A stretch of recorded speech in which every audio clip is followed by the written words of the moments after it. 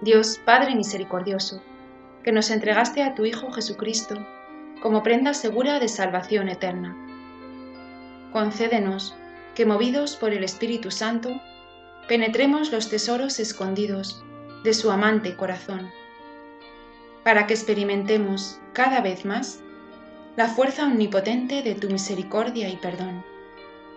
Como preparación a la celebración del primer centenario de la consagración de España, nuestra querida patria, a su sagrado corazón. Acudiendo al corazón inmaculado de la Virgen María, Madre de Cristo y Madre nuestra, encomendamos a su poderosa intercesión la renovación de la consagración de España al Sagrado Corazón de su Hijo. Sagrado Corazón de Jesús, creo en tu amor para conmigo. Sagrado Corazón de Jesús, en ti confío.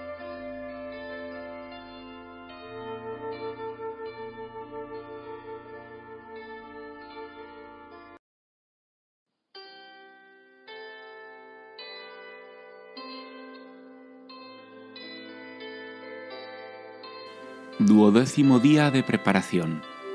Día 10 de junio. Dios nos da su corazón para que le amemos.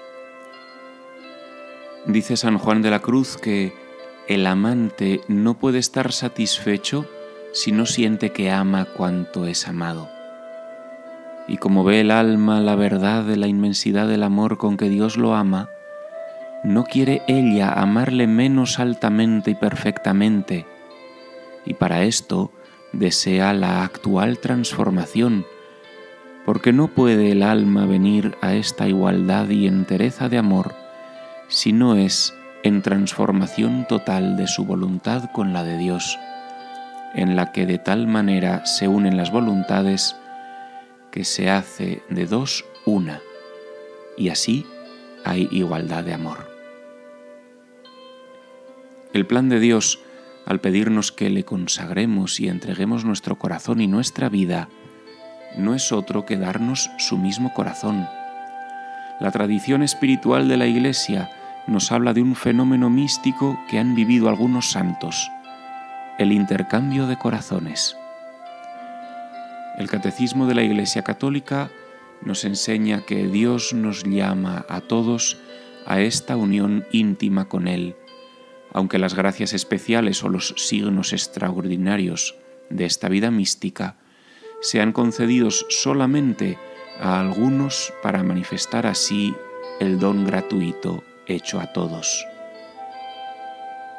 Por tanto, lo experimentemos místicamente o no, todos estamos llamados a buscar y a recibir un corazón como el de Cristo este es el fin de entregar nuestro corazón al corazón de Jesús, recibir su mismo amor en nuestro corazón, puesto que Dios sueña con que podamos amarlo así y desea enriquecernos en la medida en que hagamos de verdad la entrega de nuestra vida.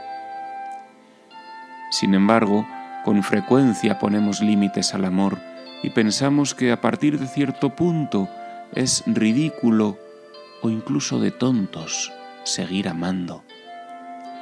Es entonces cuando debemos dirigir nuestros ojos hacia el costado abierto de Cristo y aprender de Él a amar hasta la locura y recibir de Él la capacidad de amar como Él. Pues mirar al corazón de Jesús es contemplar su amor infinito, sin medida, y es ser atraído por Él, ser transformado por Él. Así, nuestra consagración al corazón de Jesús nos compromete a no apartar nuestra mirada de Él y a contemplar nuestra vida a la luz de su amor. Todo viene de su amor y todo es una oportunidad para abrirnos a su amor y amarlo. Corazón de Jesús, transforma mi corazón en el tuyo. Hazme semejante a ti.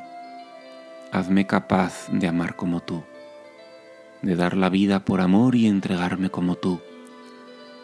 Cuando me falten las fuerzas para amar, dirige mis ojos hacia ti y al contemplar tu corazón que ama infinitamente, me avergüence ante mi pobre amor. Reciba de tu amor infinito tu propio corazón, para que sigas amando a los hombres a través de mi corazón, que será el tuyo. Yo te amo, Señor, tú eres mi fortaleza. Señor, mi roca, mi alcázar, mi libertador.